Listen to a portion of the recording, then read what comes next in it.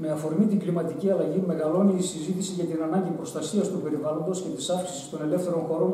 και των χώρων πρασίνων μέσα στις πόλεις. Οι πολιτικές όμως που εφαρμόζουν οι κυβερνήσεις στον τομέα του περιβάλλοντος, η εμπορευματοποίηση της γης και η παράδοσή της για εκμετάλλευσης στου επιχειρηματίες επιβαρύνει το περιβάλλον και περιορίζει τις δυνατότητες αξιοποίησης χώρων για αναψυχή των λαϊκών στρωμάτων. Οι πρόσφατες αλλαγές στην περιβαλλοντική νομοθεσία γκρεμίζουν για τα τελευταία ελάχιστα μέτρα προστασίας που υπήρχαν και παραδίδουν την βορρά στους επενδυτές γη, αέρας και θάλασσα. Σε αυτό δεν είναι αμέτωχες οι δημοτικές και περιφερειακές αρχές πανελλαδικά αλλά και στην περιοχή μας. Είναι πρόσφατες οι αποφάσεις περιφέρειας Θεσσαλίας και Δήμων για την παραχώρηση των βουνών των αγράφων στους εργολάβου των ανεμογεννητριών και των υδροελεκτρικών.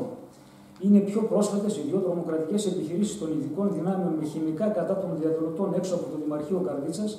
για να περάσει η παράδοση δημοτικής γης για τις γραμμές μεταφοράς των ανεμογεννητριών. Πρόσφατος είναι επίσης και ο αποχαρακτηρισμός ακινήτων από την προηγούμενη δημοτική αρχή και η παράδοση στους ιδιώτες, με χαρακτηριστικότερη την περίπτωση του χώρου του πρώην Μήλου Κολέτσου δίπλα στο μελλοντικό δημαρχείο, που πέρασε στα χέρια εταιρεία που τον προορίζει για πολυκατάστημα. Μάλιστα, έχει καταγγελθεί και μέσα στο Δημοτικό Συμβούλιο ότι υπάρχουν καταπατημένοι χώροι περιφραγμένοι και, και σε εκμετάλλευση από ιδιώτες όπως και κοινόχρηστοι χώροι, ακόμα και μέσα στην πόλη. Στην πόλη της Καρδίτσα αλλά και στα χωριά υπάρχουν δεκάδες δημοτικοί χώροι χαρακτηρισμένοι σαν πάρκα, πλατείες ή παιδικές χαρέ που είναι εγκαταλειμμένοι στην τύχη τους ή στη φροντίδα των πυρηνικών. Τέτοιοι χώροι υπάρχουν σε κάθε γειτονιά της πόλης και είναι αναγκαίο να αξιοποιηθούν προς όφελος των δημοτών. Η πανδημία του κορονοϊού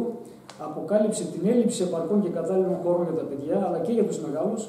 και φυσικά το επερχόμενο πιθανό δεύτερο κύμα επιβάλλει την άμεση παρέμβαση, καθαρισμού και απόδοση σε χρήση όλων αυτών των χώρων και ιδιαίτερα αυτών που είναι μέσα στην πόλη.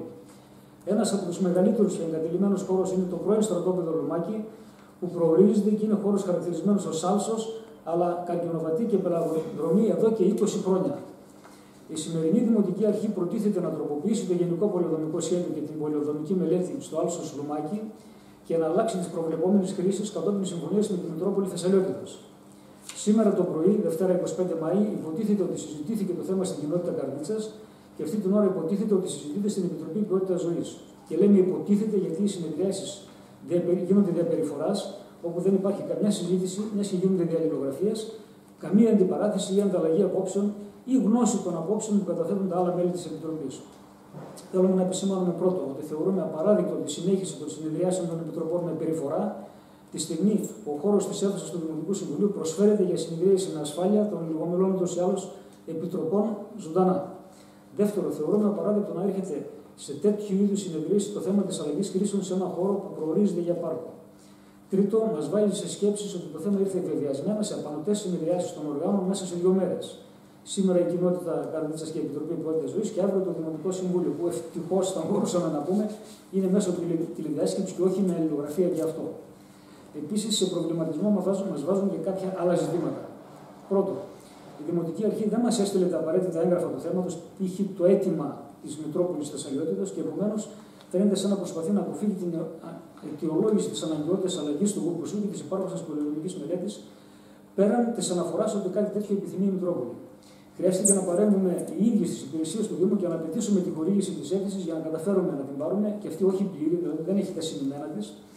λίγο πριν λήξει η συνεδρίαση της κοινότητας Καβίτσα και έτσι αποκαλύφθηκε ότι προβλέπεται η κατασκευή ενός υπερμεγέθους ναού που ξεπερνάει τα 1030 τετραγωνικά μέτρα. Δεύτερο, το χρονικό σημείο που επιλέγει η Δημοτική Αρχή να φέρει προς έγκριση ένα τόσο σοβαρό ζήτημα, ενώ το σχετικό αίτημα έχει καταδεθεί εδώ και δύο χρόνια, μόνο υποψίες για τη σκοπιμότητά του δημιουργεί, αν αναλογιστούμε ότι λόγω των μέτρων αποστοσιοποίηση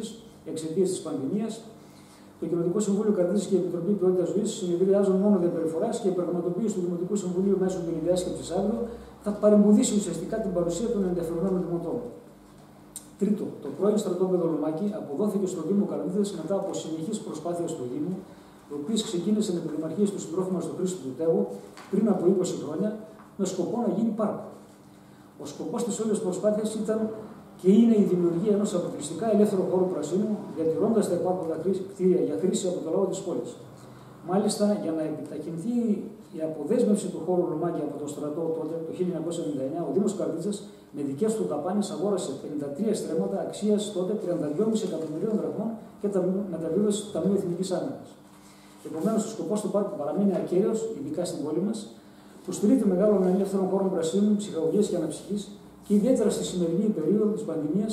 που αποδείχθηκε ότι η ανάγκη για ύπαρξη ανοιχτών ε, μεγάλων και κατάλληλων χώρων για προστασιοποίηση είναι απαραίτητη. Τέταρτο, το υπάρχον πολυοδομικό σχέδιο έχει διαμορφωθεί, έχει λάβει υπόψη του δηλαδή θέσεις και απαραίτητος χώρος σε κάθε γειτονιά για εκκλησίες ή για άλλες χρήσει, σεβόμενο τις θρησκευτικές πεπιθήσει και φυσικά παίρνουμε υπόψη τη γεωγραφική κατανομή των κατοίκων σε όλες τις πολυοδομικέ ενότητες. Επομένως, θεωρούμε ότι δεν συντρέχει λόγος δημιουργίας εκκλησιαστικού χώρου μέσα στο άλλο Σουλμάκι, αλλά ούτε και κατάργηση του εκκλησιαστικού χώρου από το υποδομικό τετράγωνο στο τέρμα τη οδού Σουρή, που είναι χαρακτηρισμένος από το 2008 ε, σαν χώρος κατασκευής εκκλησίας, χωρίς να έχει χτιστεί μέχρι σήμερα εκκλησία εκεί. Πέμπτος, στην περιοχή του Άλσου Σουλμάκη υπάρχουν αρκετοί ελεύθεροι κοινόχρηστοι χώροι, οι οποίοι δεν είναι αξιοποιημένοι κατάλληλα. Το καλύτερο που έχει να κάνει η Δημοτική Αρχή είναι να προχωρήσει άμεσα και χωρίς καθυστέρηση στην αξιοποίηση όλων αυτών των κοινόχρηστων χωρών και να τους αποδώσει στους καρδιτσότες. Έκτο, φαντάζει τρομακτική η κατασκευή ενό ναού 1032 τετραγωνικών μέτρων μέσα στο άλσο, χωρίς μέσα σε αυτά τα τετραγωνικά να υπολογίζονται οι βοηθητικοί χώροι, ράμπες, περιστήλια, πλατήσκαλα και άλλες κατασκευές, που συνολικά θα καλύψουν 2.000 τετραγωνικά μέτρα στο σύνολό τους. Το μέγεθος αυτό, πέραν της αφαίρεσης δύο στρεμμάτων από το πράσινο, θα επισκιάζει όλες τις γύρω κατασκευές και θα ανταγωνίζεται ουσιαστικά το διοικητήριο. Έβδομο, να δηλώσουμε ότι σεβόμαστε ειλικρινά την θρησκευτική πίστη, αλλά μας προβληματίζει σοβαρά το ζήτημα της σκοπιμότητας μεταφοράς ενός ναού από μια γειτονιά με κατοικίες σε μια περιοχή η οποία μελλοντικά θα έχει ένα μεγάλο πάρκο, το νέο διοικητήριο και πολλά εμπορικά καταστήματα, ενώ ήδη καλύπτεται από κοντινούς ναούς. Υπόψη ότι ήδη μέσα στον χώρο του Άλσου Σουλουμάκη υπάρχει ένα ίσκος που μπορεί να καλύψει τις όποιες ανάγκες των περιπατητών ή επισκεπτών του Άλσου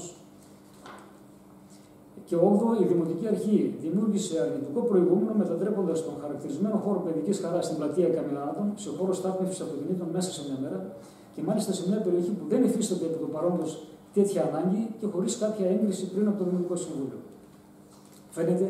ότι εκείνη η άτυπη αλλαγή χρήσης ήταν μόνο το πρώτο βήμα για τα επακόλουθα σχέδια αλλαγής χρήσης χώρων. Ε, θεωρούμε ότι αυτό που πρέπει να κάνει σήμερα η Δημοτική Αρχή είναι χωρίς καθυστέρηση να διαθέσει την απαραίτητη χρηματοδότηση να διεκδικήσει αύξηση της χρηματοδότηση από το κράτο για την εκ νέου δημιουργία τη συγκεκριμένη παιδική χαρά στην περιοχή που έχει πραγματικά ανάγκη η περιοχή, αλλά και την αποκατάσταση των άλλων κοινόχρηστων χώρων. Για αυτούς τους λόγους και όσους αναλυτικά θα εκθέσουμε αύριο στο Δημοτικό Συμβούλιο, ε, όχι μόνο είμαστε αντίθετοι στην αλλαγή χρήσης στο πρώην στρατόπεδο Λομάκη, αλλά καλούμε και το λαό της ε, περιοχής να πάρει την υπόθεση στα χέρια του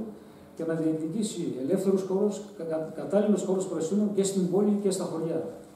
να μην γίνει καμιά αλλαγή χρήση στο άλλο Σολομάκι, να παραμείνει ολόκληρο το πρώην στρατόπεδο και να παραδοθεί στο λαό της πόλης και να αξιοποιηθεί για τις ε, ανάγκες του. Και μάλιστα αυτό πρέπει να γίνει άμεσα αύριο, χωρίς καμιά άλλη καθυστέρηση.